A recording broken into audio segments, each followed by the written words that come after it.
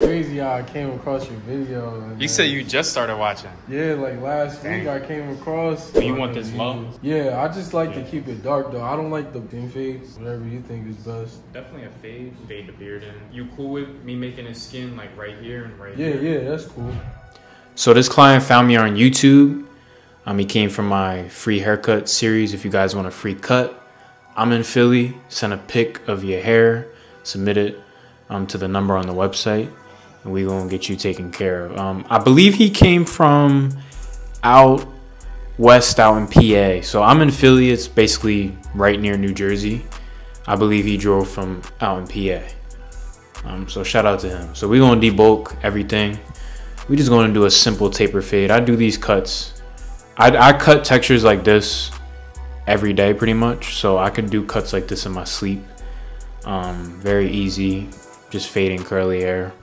Um, for full length versions of haircut videos such as these, check out the Patreon. 15 bucks a month. So, let's talk. Um, I don't- really explain what I do during these haircuts. I kind of just let you guys uh, watch. Um, but this is kind of like a pointless cut. I ain't gonna say it's pointless because you can kind of see his hairline with his when his dreads hang over. But if someone had like a full head of dreads, it'd be kind of pointless. Um, but yeah, he says he was growing his hair for like two years, and I was like, that's crazy growth for two years. That's incredible. Um, so I'm just gonna taper his sides. Reason I'm doing this, it'll make the cut look better, the contrast effect. Um, and then going into the beard, definitely will look dope. Um, I'm definitely gonna push his C cup back. Um, one, it'll look better. Two, um, it just fits it. It just fits the canvas sometimes when you keep stuff too natural, like every cut is some sort of pushback, unless you're doing like a all, all scissor haircut. Honestly, um, I have a lot of clients who come to me and they say, "Yo, I don't want nothing pushback," and I say, "Okay." And they they legit just want a regular haircut. They don't want it sharp. They just want it a cleanup. That's it. So different clientele for different, you know, people want different things. Can't force something on everyone. You just can't.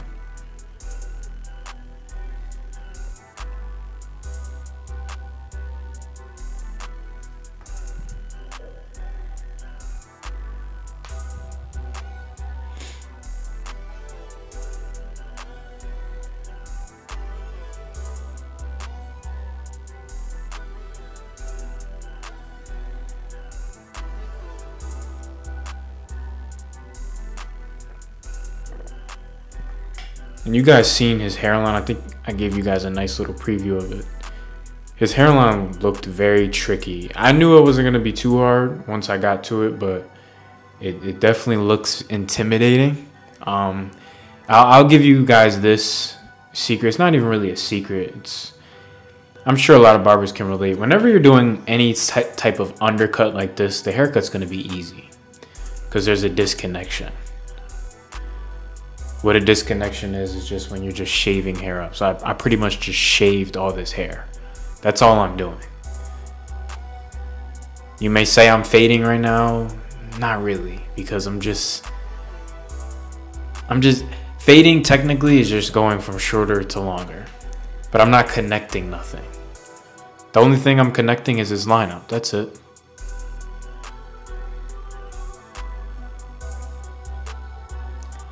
So for the hairline of someone with dreads or braids, it's pretty easy. You're just shaving it and then just making it symmetrical. All I really had to do, the hardest part about cutting afro hair in my opinion is making the hairline symmetrical. When I was starting out, that was the hardest. But once you get it, I can literally do it with my eyes closed. I can shape someone up without even looking at them straight on. I could just do it from the side. Because that's how much I do it. That's how much I practice it.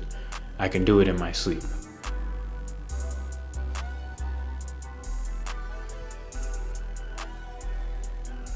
And honestly, when you get to this point in your career, it's it's not about people used to come to me for like super straight hairlines and all that.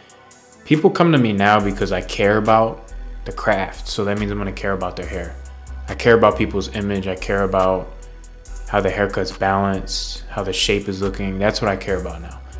I don't really care about hairlines anymore. I don't. Or fading or blurriness. it's just pointless.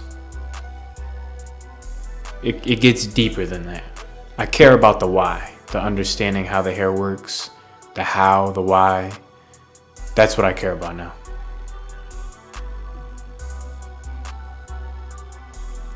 Just good to adapt. I always tell people I'm a great adapter. I can adapt um, to many different circumstances, especially in the in the business aspect. So look at his hairline. It doesn't look crazy now, but I know once we cut it down, I'm gonna take this two, go with the grain. Then I'm gonna flip it go against. It's best to just take this area of hair down a little lower. This is my three guard actually, not my two, my bad. Then I'm gonna go to my one and a half. So I'm gonna start in the middle. I didn't use no hairspray. And All that stuff is just honestly, it's not necessary. Like all that white line stuff, it's just it's just not necessary. I start in the middle, work my way to the right side, or to his left side.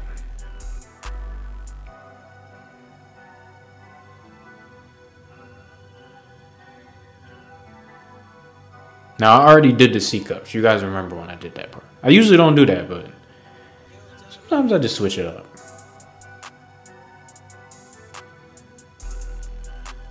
and I connect everything. So without enhancements, it looks sharp. Now we add a little bit of enhancements.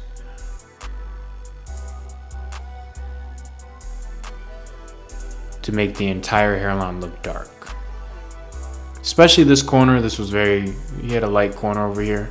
He told me this was one of his concerns. And to groom the beard, I'm gonna go with the grain and then against it a little bit.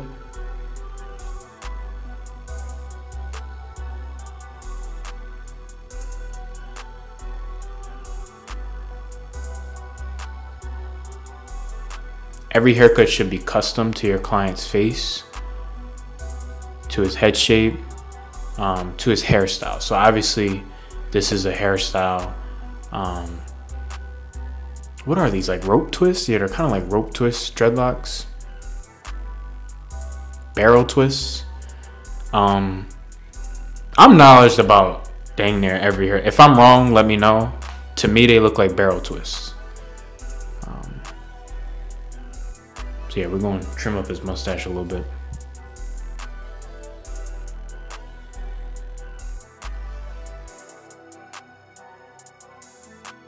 And shout out to EZ Blade shaving products. My code is on the screen and the website's on the screen. So this is how my client came in. Look at that hairline. And this is how he's leaving. Let's take his hair down and that's how it's looking. It's your boy Four and I'm out. Peace.